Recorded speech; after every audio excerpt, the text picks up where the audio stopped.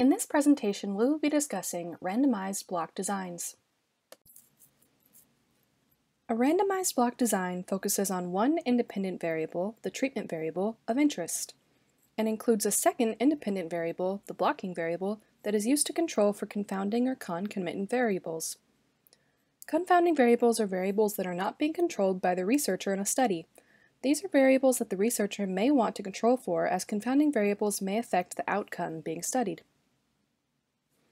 When one controls for a variable in a statistical analysis, it means that the variable is included in the analysis, and thus any effects that this variable may have on the outcome, or dependent variable, have been accounted for in the analysis.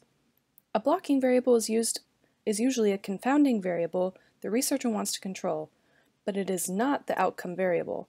It is an independent variable of secondary importance. The sum of squares in a completely randomized design are as follows.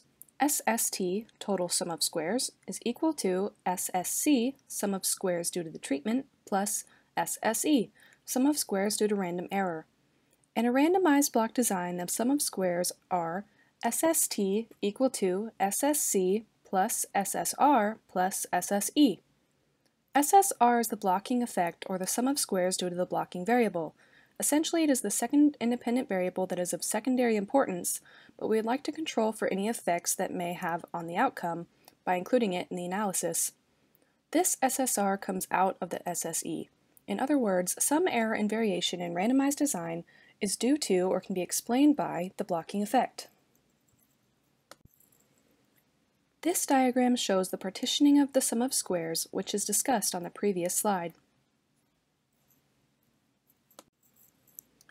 A randomized block design, or any design that includes two independent variables of which one is the blocking, is shown in this slide. The main independent variable of interest is placed in the columns, and the blocking variable is placed in the rows. The cells or squares in the middle include the numerical values of the dependent variable. The formulas used to compute the sum of squares and variances are shown on this slide. And this completes our discussion of randomized block designs.